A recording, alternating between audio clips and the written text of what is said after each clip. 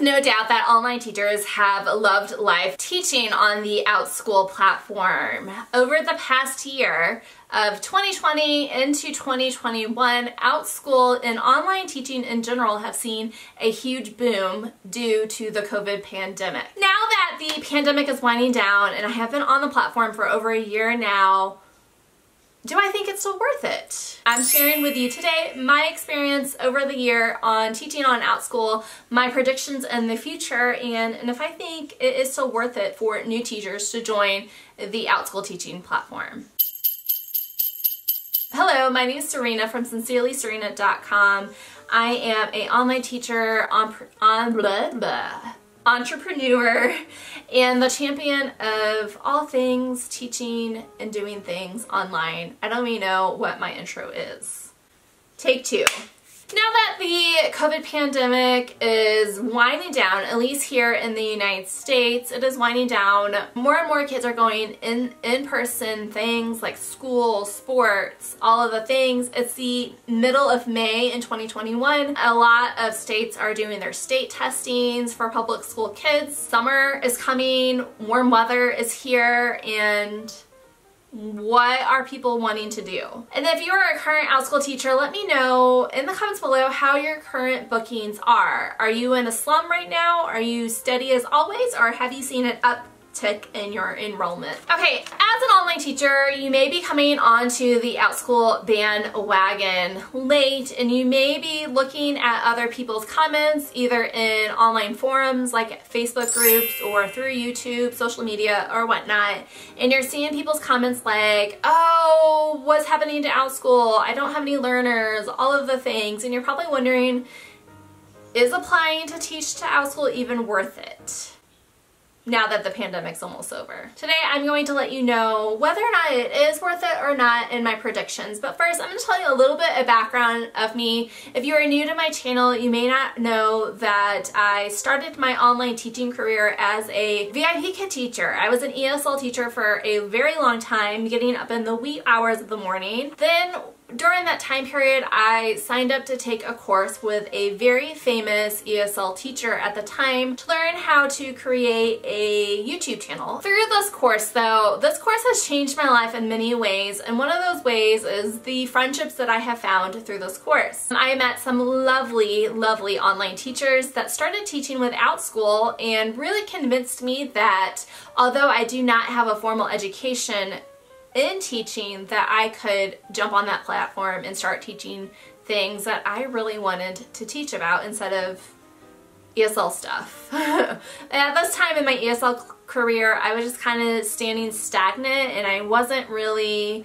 excited to get up at 2 a.m anymore. so fast forward to a couple of months, the COVID pandemic hit and OutSchool experienced a huge boom all the way through the fall into the winter time and I decided to quit VIPKID and focus on my OutSchool classes as well as building a couple of other income streams. It is now May and I still am teaching on OutSchool and I'm still loving it. I think I joined OutSchool at the perfect time during the pandemic. I joined in May of 2020 and it was the time period that everything sh was shut down. Students could not really do anything, especially through the summertime, and parents needed a way to occupy their kids at home, and so they discovered OutSchool. Um, a lot of my classes took off during the summertime. I had some really cool camps that were always booked, and then into the fall, I experienced a huge ego boost when my Hamilton classes were very popular. Things went great through Christmas. Saw a, especially in my Hamilton history classes from January to now, a slowly decline in student enrollment. So I do predict that the pandemic bubble that was created, the business bubble that was created for OutSchool is going to pop if it hasn't already popped. I, I believe that the, the the pandemic bubble for OutSchool at least has popped. Now, here are my predictions. Is OutSchool still worth it to teach on? Should I even waste my time or should I even, you know, put time into creating classes on OutSchool if everybody's experiencing a booking decline? And here's my short answer, yes. Yes, I think OutSchool is still worth it if you are willing to have patience and go with the flow of the booking cycle. I am not a pre-COVID OutSchool teacher, so I personally do not have experience with what it was like on OutSchool pre-COVID.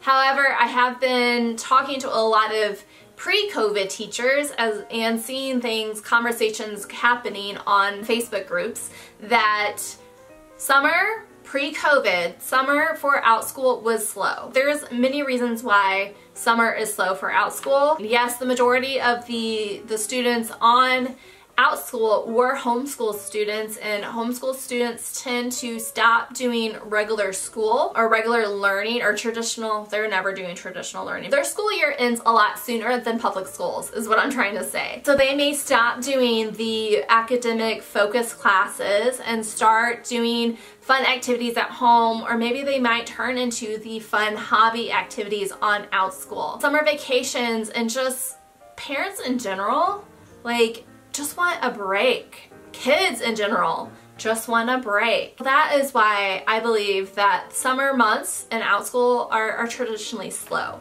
My predictions for 2021, I think it is going to start leveling out and maybe it is not going to go right where pre-COVID was, the summers and pre-COVID. I think it's still going to be higher than what pre-COVID was. However, it is going to level off and we're not going to have this big boom like we had last year. You could also hold off and yes, apply for the out the platform, but hold off to really putting time and effort until everybody's going back in the fall. You can spend this time during the summertime and really figure out how you are going to run a semester academic class or how are you going to structure your classes for the fall. There are many reasons why this COVID bubble um, has popped on OutSchool and it is already because of the things that I've already mentioned but let's face it these these poor students have been on computers. They have been learning on Zoom for more than a year and a half. They're tired. They're tired of being on the computer. They need a break. It is warm outside. They want to go outside and they can probably see their friends now and play outside. And, and and parents want to see their children out outside and doing the things that they want to do. Me, where I live in St. Louis, although we we do have to wear masks, we can now go to fun places like the park and the zoo and, and those places. So I'm going to take that opportunity and do those things with my kids during the summertime that last year, let's face it, as parents and as young children, living in the United States last summer really stunk because we really couldn't do anything. And I think a lot of parents were kind of of trading that off with, hey, I paid for this class online, it's really cool. We can't go out to the park, we can't go to the zoo, but hey, you can get online and learn how to make cookies from this cool teacher. The prediction of what is going to do well on OutSchool this summer is I'm not going to say non-academic classes because I think ac academic classes can do well during the summertime as long as you present it in a fun way. You can also take, and if you are a veteran OutSchool teacher, you can take your long courses that you did during the school year and condense them into a cool camp. However, if you plan on teaching multiplication, figure out how you can take that multiplication curriculum and make it fun and engaging, especially for summer. Like these students, they have been doing regular school traditional learning all school year they want to do some fun things. So now's the time to throw out experiment classes. If you have hobbies like sewing or card making or baking try and if you and if you are interested in teaching those things try doing those types of courses and I think if you pick something that is short term um, whether it be a week-long camp or maybe longest I would say two weeks instead of the uh, multi-day classes where it's like, uh, give me $200 up front. Okay, so my bottom line, my friends, OutSchool is still worth it. I, I still think that is a viable way to make online income. However, Uh, I would not put all your eggs in the OutSchool basket. I have a couple of videos that tell you other income streams. I will link that those down below. This is the time period for the summer to breathe my friends. Breathe. And I know breathing is hard. If you are the sole breadwinner for your family, I understand. But the summertime on OutSchool is the time to either uh, take a break, experiment, try new things, try fun classes, and have fun. And, and don't put too much pressure on you guys, okay? If you have any questions or concerns, let me know down in the comments below. We have a OutSchool Facebook group, an official Facebook group called Navigating OutSchool. You can find me hanging out in that as well. Um, if you have any questions, let me know and have a great summer, my friends.